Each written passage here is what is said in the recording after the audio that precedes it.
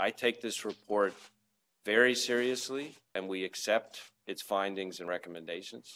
This report did not find any evidence of political bias or improper considerations actually impacting the investigation under review.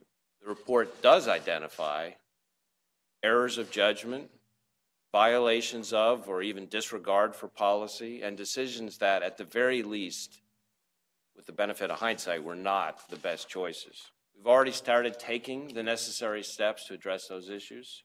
We're going to hold employees accountable for any potential misconduct. We're going to adhere to the appropriate disciplinary process.